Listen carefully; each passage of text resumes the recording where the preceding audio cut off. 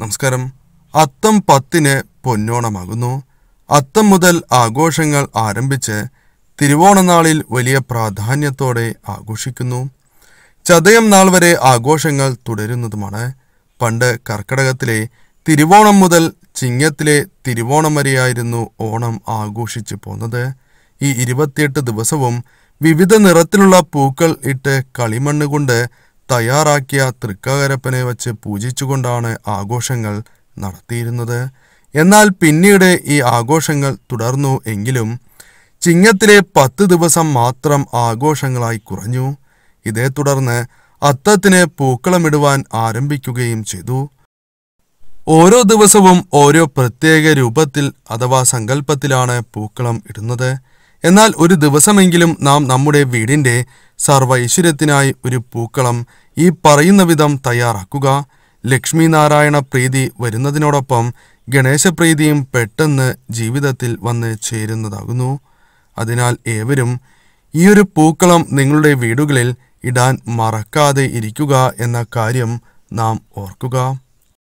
പൂക്കളം ഒരുക്കുന്നതിനായി ആവശ്യമായ പൂക്കളെക്കുറിച്ചാണ് പറയുന്നത്. ഈ പുഷ്പങ്ങൾ ഉൾപ്പെടുത്തിക്കൊണ്ട് ഒരു പൂക്കളം ഏവരും വീടുകളിൽ തയ്യാറാക്കുവാൻ ശ്രമിക്കുക.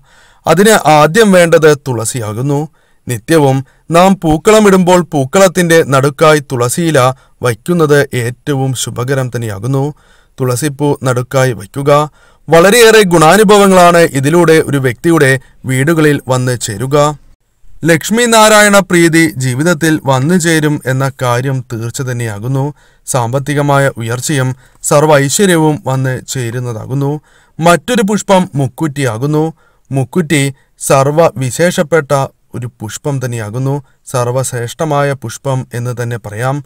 കർക്കിടകം മുതൽ പറമ്പുകളിൽ സുലഭമായി ലഭിക്കുന്നവ. എന്നാൽ ഈശ്വരാധീനമുള്ള വീടുകളിൽ മാത്രമേ ഇവ വളരൂ എന്ന കാര്യവും നാം ഓർക്കുക. ഓണപ്പൂക്കളത്തിൽ ഒഴിവാക്കുവാൻ സാധിക്കാത്ത ഒന്ന് തന്നെയാണ് മുക്കൂറ്റി എന്ന് പറയുന്നത്.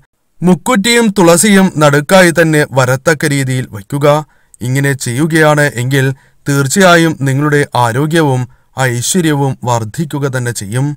മറ്റൊരു പുഷ്പം മന്ദാരമാകുന്നു. വെളുത്ത മന്ദാരം ലഭിക്കുകയാണ് എങ്കിൽ മന്ദാരപ്പൂ കൂടി പൂക്കളത്തിൽ ഉൾപ്പെടുത്തുവാൻ ഏവരും ശ്രമിക്കുക. ഇങ്ങനെ ചെയ്യുന്നത് ഏറ്റവും വിശേഷം തന്നെയാകുന്നു. ഇങ്ങനെ ചെയ്യുന്നതിലൂടെ കർമ്മരംഗത്ത് ഉയർച്ച പ്രതീക്ഷിക്കാവുന്നതാണ്. ജീവിതത്തിൽ സന്തോഷം സമാധാനം എന്നിവ കൈവരിക്കുവാനും ഇതിലൂടെ സാധിക്കുന്നു എന്ന് തന്നെ പറയാം. മറ്റൊരു പുഷ്പം മുല്ലയാകുന്നു. ഏറ്റവും വിശേഷപ്പെട്ട പുഷ്പങ്ങളിൽ ഒന്നാണ് മുല്ല. അതിനാൽ തന്നെ മുല്ലപ്പൂ പൂക്കളത്തിൽ ഇടുന്നതും ഏറ്റവും വിശേഷം തന്നെയാകുന്നു. ഇങ്ങനെ ചെയ്യുന്നതിലൂടെ മനക്ലേശങ്ങൾ ജീവിതത്തിൽ നിന്നും അകലുകയും ധൈര്യവും ഏകാഗ്രതയും ജീവിതത്തിൽ വന്ന് ചേരുന്നതിന് സഹായകരവുമാണ്. അതിനാൽ തന്നെ പിച്ചിയും ഇപ്രകാരം ഇടാം എന്ന കാര്യവും നാം ഓർത്തിരിക്കേണ്ടതാകുന്നു. അതിനാൽ ഈ ഒരു പുഷ്പവും മറക്കാതെ ഇരിക്കുക. കോളാമ്പി. മഞ്ഞ കോളാമ്പിയും ഇത്തരത്തിൽ പൂക്കളത്തിൽ ഇടുന്നത് ഏറ്റവും ശുഭകരം തന്നെയാകുന്നു.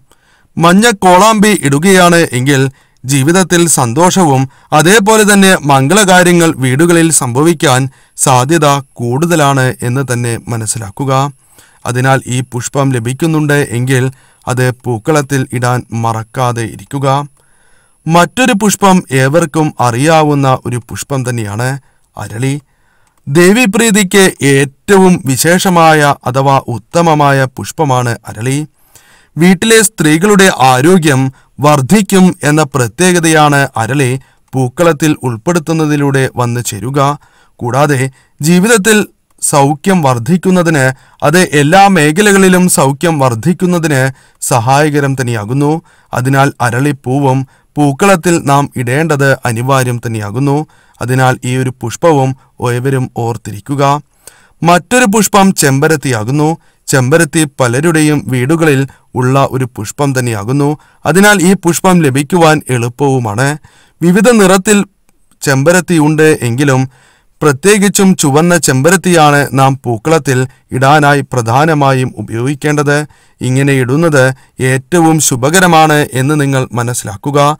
കാരണം ജീവിതത്തിൽ ശത്രുദോഷമുണ്ട് എങ്കിൽ അതെല്ലാം ഒഴിഞ്ഞു പോകുന്നതിന് സഹായകരമാണ് ഇത്തരത്തിൽ ചെമ്പരത്തി പൂക്കളത്തിൽ ഇടുന്നത്. കൂടാതെ തടസ്സങ്ങൾ അകന്നു പോകുവാനും ജീവിതത്തിൽ സംരക്ഷണം ലഭിക്കുവാനും ഉത്തമം തന്നെയാണ് ഈ പുഷ്പം. മറ്റൊരു പുഷ്പം മല്ലിയാകുന്നു. മല്ലിപ്പൂ ഒട്ടുമിക്ക വീടുകളിലും സുലഭമായി ലഭിക്കുന്ന ഒരു പുഷ്പം തന്നെയാകുന്നു. അതിനാൽ മല്ലിപ്പൂവും പൂക്കളത്തിൽ ഉണ്ടാകുന്നത് ഏറ്റവും ശുഭകരം തന്നെയാകുന്നു. ഇതിലൂടെ സന്തോഷം ഐശ്വര്യം എന്നിവ ജീവിതത്തിൽ വന്നു ചേരും എന്ന കാര്യവും തീർച്ച തന്നെയാകുന്നു മറ്റൊരു പുഷ്പം റോസാപുഷ്പമാകുന്നു. റോസാപുഷ്പം നമ്മൾ പൂക്കളത്തിൽ ഉൾപ്പെടുത്തുന്നതിലൂടെ കുടുംബസൗഖ്യം പോസിറ്റീവ് ഊർജം എന്നിവ ജീവിതത്തിൽ വന്ന് ചേരും എന്ന കാര്യം തീർച്ച തന്നെയാകുന്നു ഐക്യം വർദ്ധിക്കുവാനും ഉയർച്ച നേടിയെടുക്കുവാനും ഏറ്റവും ഉത്തമം തന്നെയാണ് റോസ് പൂക്കളത്തിൽ ഉൾപ്പെടുത്തുന്നത്. കൂടാതെ ഉൾപ്പെടുത്തുവാൻ സാധിക്കുന്ന മറ്റൊരു പുഷ്പം ശംഖുപുഷ്പമാകുന്നു. ശംഖുപുഷ്പമാണ് നിങ്ങൾ പൂക്കളത്തിൽ ഉൾപ്പെടുത്തുന്നത് എങ്കിൽ തീർച്ചയായും നിങ്ങളുടെ ജീവിതത്തിൽ ഈശ്വരാധീനം വർദ്ധിക്കുകയും നാൾക്ക് നാൾ ഉയർച്ച കൈവരിക്കുവാൻ നിങ്ങൾക്ക് സഹായകരവുമാകുന്നു. അതിനാൽ തന്നെ ഏറ്റവും ശുഭകരമായ ഒരു പുഷ്പമായി ശംഖുപുഷ്പത്തെ കണക്കാക്കുന്നതുമാണ്. അതിനാൽ പൂക്കളത്തിൽ ഒരിക്കലെങ്കിലും ഇടേണ്ട പുഷ്പം തന്നെയാണ് ശംഖുപുഷ്പം എന്ന് നാം മനസ്സിലാക്കേണ്ടതാകുന്നു. ഈ പരാമർശിച്ചിരിക്കുന്ന എല്ലാ പുഷ്പങ്ങളും നിങ്ങൾക്ക് ലഭിക്കുന്നില്ല എങ്കിൽ ഈ ലഭിച്ച പുഷ്പങ്ങൾ അതായത് ഏതെല്ലാം പുഷ്പങ്ങൾ ലഭിക്കുമോ ആ പുഷ്പങ്ങൾ ചേർത്ത് ഒരു പൂക്കളം ഉണ്ടാക്കുവാൻ ഏവരും ശ്രമിക്കുക. എല്ലാ പൂക്കളും ഉൾപ്പെടുത്തുന്നതാണ് ഏറ്റവും വിശേഷം. അതിന് സാധിക്കുന്നില്ല എങ്കിൽ ഇപ്രകാരം ചെയ്യുക. എല്ലാ ദിവസവും ഇപ്രകാരം ഇടാൻ സാധിക്കുന്നുണ്ട് എങ്കിൽ അത് ഏറ്റവും വിശേഷം തന്നെയാകുന്നു. അതിന് ഏവർക്കും സാധിക്കണം എന്നില്ല. അതിന് സാധിക്കാത്തവരാണ് നിങ്ങൾ എങ്കിൽ ഏതെങ്കിലും ഒരു ദിവസമെങ്കിലും ഇപ്രകാരം ഇടാൻ മറക്കാതെ ഇരിക്കുക. തീർച്ചയായും ജീവിതത്തിൽ ഈ ഫലങ്ങൾ വന്ന് ചേരുക തന്നെ ചെയ്യും.